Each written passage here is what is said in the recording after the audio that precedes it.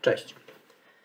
E, Dzisiaj chciałbym troszeczkę powalczyć z tymi, z tymi działaniami na, na tych naszych zmiennych całkowitych, czyli na liczbach całkowitych. Nic nie będziemy tak naprawdę nowego wprowadzać. E, Tam ze dwa operatory tylko chciałem pokazać, ale ogólnie chciałem pobawić się na, na liczbach, zobaczyć co można zamieszać z liczbami.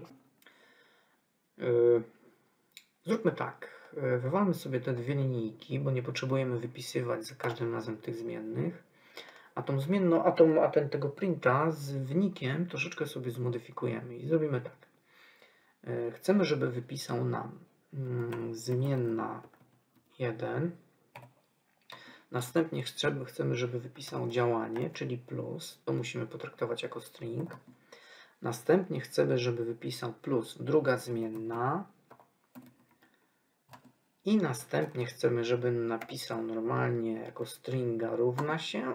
I na koniec chcemy podać wynik. Czyli mając dwie zmienne i zmienną wynik, stworzoną z sumy dwóch zmiennych, printujemy mu tak. Zmienna 1 plus jako string, zmienna 2 równa się jako string i wynik, który jest sumą. Dobra, zobaczmy, czy to zadziała. Czyli mamy kompletne działanie i wynik tego działania. Dodawanie w miarę proste, e, zero problemów. Spróbujmy sobie tutaj dodać drugiego plusa. Zobaczymy, czy to coś zmieni. Tutaj też dodamy, żeby od razu było widać, czy to jakieś konsekwencje ma. No nic to nie zmienia. Spróbujmy sobie dodać tych plusów więcej. Tu na razie zostawimy jednego, żeby nie było. No nie, czyli nie ma znaczenia, jaką mm, ilość plusów wpiszemy w sumie zawsze to będzie traktowane jako 1 plus. Dobra, yy, zobaczmy, czy podobnie jest z minusem. Czyli odejmujemy sobie 9 minus 5, powinno wyjść ile? 4. Yy, uruchamiamy. No i rzeczywiście 9 minus 5 równa się 4. Yy, spróbujmy sobie z dwoma minusami. I tutaj już powinno być, myślę, inaczej.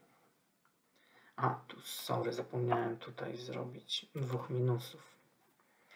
E, Czyli mamy taki myk, że 9 minus minus 5 równa się 14. No i rzeczywiście z matematyki wiemy, że dwa minusy dają tak naprawdę plus. Spróbujmy sobie wprowadzić trzeciego minusa. No i teraz myślę, że to powinien być minus, bo minus i minus to plus, ale kolejny minus to minus. Dobra? No i rzeczywiście mamy 9 minus minus minus 5 to jest 4. No i myślę, że tak dalej, czyli mm, jak mamy parzystą ilość minusów, to one się zawsze będą jakby stworzyć, stwor będzie się tworzył plus. No tutaj mamy minus minus to plus, minus minus to plus, więc mamy dwa plusy.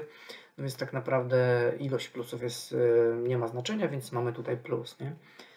Y, tu też jest ważne, bo czasem można się gdzieś rąbnąć i nie wiedzieć, czemu się człowiek rąbnął. Y, także te minusy mają znaczenie. Spróbujmy teraz z mnożeniem. Wpiszmy sobie gwiazdkę.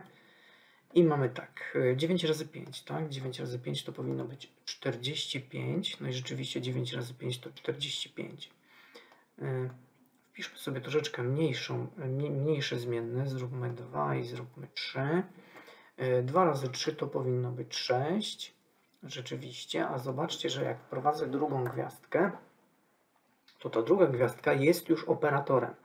Jest już czymś, co rzeczywiście operuje na liczbach i jest to potęga. Dwie, dwie mm, gwiazdki tworzą nam operator potęgowania. Yy, czyli to będzie 2 razy 2 razy 2. 2 razy 2 to 4, razy 2 to 8. No, zwykła potęga. 2 do potęgi yy, trzeciej. Czyli dwie gwiazdki to potęga. Ważne, żeby zapamiętać. Co jeszcze możemy? Możemy podzielić. A, nie, no dobra, spróbujmy sobie jeszcze trzy gwiazdki. Trzy gwiazdki coś nam tutaj powiedzą. Plusy nie mówiły nic, minusy mówiły, w zależności od tego, ile ich było, a gwiazdki, ciekawy jestem. Nie, gwiazdki to już jest błąd. Czyli dwie gwiazdki. Jedna gwiazdka mnożenie, dwie gwiazdki to jest potęgowanie. Dobra, spróbujmy z dzieleniem. Odpalmy ale jakąś konkretną liczbę wpiszmy. 10 na 5, tak jak było w poprzednim przypadku. 10 na 5 powinno być 2. 10 na 5 jest 2. Pamiętajmy tylko, że wynik dzielenia mm, to jest już, to jest już yy, liczba zmiennoprzecinkowa, czyli mamy tutaj przecinek. Tak jak wtedy pokazywałem na dziewiątce, zróbmy 9 na, nie wiem, 6. Zobaczmy, co wyjdzie. 1,5, czyli mamy liczbę zmiennoprzecinkową. No standardowo spróbujmy sobie dwa, drugi, drugą kreskę wstawić. I z tego co wiem, to ta druga kreska jest, te dwie kreski to też jest operator obliczania yy, dzielenia, ale z zaokrąglaniem do dołu. I zaraz sobie to sprawdzimy. Czyli tak, jeżeli 9 na 6 wychodziło 1,5, to 9 na 6, ale podwójnym dzieleniem powinno nam też wyjść 1,5, ale drugi operator zaokrągla w dół, obcina tą wartość yy, dziesiętną, a jeżeli zaokrągla w dół, to powinien zaokrąglić do jedynki. Zobaczymy. Zaokrąglił nam do jedynki. Jakąś taką inną może liczbę sobie wprowadźmy. Nie wiem, 13 podzielić na ile? 3. No niech będzie. Zobaczymy ile wyjdzie. Wyszło 4, a z jednym wyjdzie 4, coś tam, tak? No, 4.3333. Czyli ten drugi operator dzielenia pozwala nam podzielić i jednocześnie zaokrąglić w dół do najbliższej liczby całkowitej. O tak to będzie chyba najlepiej powiedziane. Dobra, czyli mamy zaokrąglanie w dół do najbliższej liczby całkowitej. Yy, czy jakieś operatory jeszcze znam? Dodawanie, odejmowanie, podwójne, podwójne sprawdziłem. No spróbujmy te trzy kreski, bo już jak na każdym sprawdzamy, to zobaczmy, czy coś się stanie. Może coś się stanie. Nie, to już jest błąd, czyli ani trzy gwiazdki, ani trzy kreski dzielenia nic nie dają. E, co dalej możemy tutaj pyknąć jeszcze? Aha, jest jeszcze to dzielenie modulo. No, jak ktoś nigdy nie wykonywał, to może mm, nie wiedzieć co to, a modulo to jest po prostu dzielenie, ale podanie reszty z dzielenia. No i zobaczcie, jeżeli podzielimy sobie 12 na 4, niech będzie, to zwykłe dzielenie, zróbmy zwykłe dzielenie, da nam wynik 3, tak? 12 na 4 to jest 3, zmiennoprzecinkowe 3. Ale jeżeli wpiszemy sobie tutaj dzielenie modulo, to reszta z dzielenia 12 przez 4 równa się nic się nie równa, bo 12 na 4 dało dokładnie 3. A teraz spróbujmy sobie podzielić 12 na 5. Y, normalne, normalne dzielenie powinno dać, dać nam liczbę i jej część dziesiętną, tak? czyli mamy tutaj dwie całości i cztery jakieś tam dziesiętne części. A teraz podzielmy sobie, ale modulo i zobaczmy ile to da. Dało nam 2, ponieważ 12 na 5, mm, reszta z dzielenia to jest właśnie 2. Dwie piątki dają dziesiątkę, no i niestety trzeciej piątki nie możemy już wcisnąć. Y, wychodzi nam ta reszta z dzielenia 2. Inny jakiś przykład. Niech będzie, nie wiem, 6 podzielić na mm, ile? Mm, na 5. Spróbujmy najpierw normalne dzielenie. 6 podzielić na 5 to 1, 2. A 6 podzielić na 5, ale modulo dzielenie to 1. Ponieważ piątek w szóstce mieści się 1, kolejna piątka już nie wejdzie, więc resztą z dzielenia jest właśnie ta jedynka. Czy da się dwa operatory modulu zrobić? Zobaczmy, co one może coś powiedzą. Raczej nic nie powiedzą. Nie, no to już jest e, błąd. E, dobra, to by było chyba wszystko, jeżeli chodzi o te operatory dodawania, odejmowania, dzielenia, mnożenia, potęgowania, obliczania do dołu z dzielenia i to jest jeszcze dzielenie modulo, czyli reszta. E, ważna tutaj jest jeszcze jedna rzecz. E, ważna jest tutaj też kolejność wykonywania, wykonywania działań. E, dobra, jakby sobie to szybciutko sobie to zakomentujemy, żeby nam nie przeszkadzało. I spróbujmy sobie wypisać na ekran takie działanie. Print i zróbmy tak, sorki. 2 plus 2 razy 2. No taki standardowy przykład.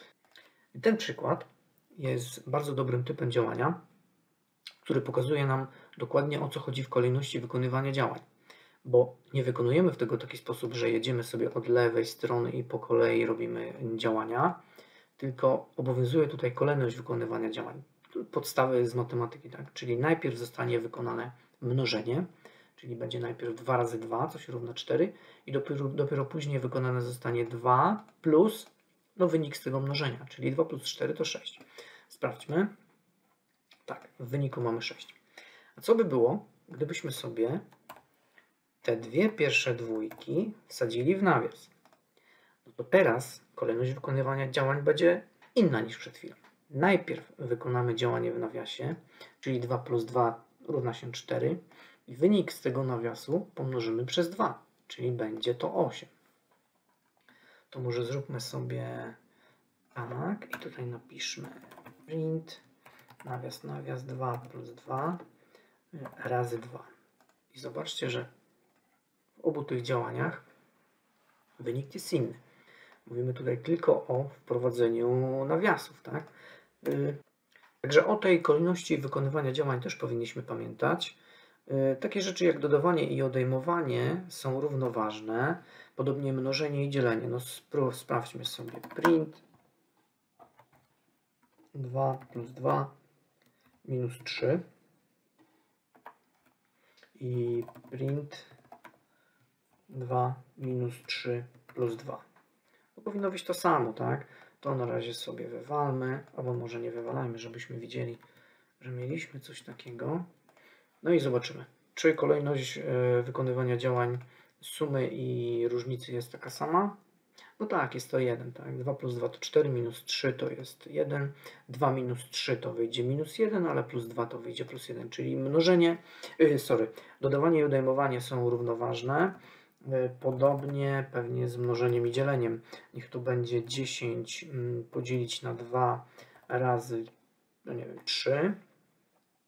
Dobra, zróbmy 12 podzielić na 2 razy 3, będzie yy, widoczne lepiej, ale zróbmy sobie też print 12 y, razy 3 podzielić na 2. Dobra, czyli to jest identyczne. To możemy zakomentować na chwilę, żeby nam nie zaciemniało. Zobaczmy, wykona się identyczny wynik. Będzie tak, jest to 18. 12 na 2 to 6 razy 3 to 18. 12 razy 3 to 36, podzielić na 2 to 18. Więc mnożenie i dzielenie również są równoważne, ale wprowadzanie w jednym działaniu dodawanie i mnożenia lub dodawanie i dzielenia, no to już musimy pamiętać o tej kolejności wykonywania działań. Także no chyba wszystko z tych, tych, z tych działaniach, z tych działań na liczbach. Hmm, troszeczkę o operatorach. Hmm, no jest ich, tak dla przypomnienia mamy tak, dodawanie, odejmowanie, mnożenie jednogwiazdkowe, dzielenie jednoznakowe. Mamy potęgowanie dwugwiazdkowe i dzielenie z zaokrąglaniem, z usuwaniem części mm, e, tych dziesiętnych do e, stałej, do całkowitej, sorry. Mm, co tam jeszcze mieliśmy? I mieliśmy jeszcze dzielenie modulo, czyli reszta z dzielenia. E, to jeżeli zapamiętamy, myślę, że będzie ok. Kolejność wykonywania działań też jest w miarę jasna, także wszystko. Dziękuję. Na razie. Cześć.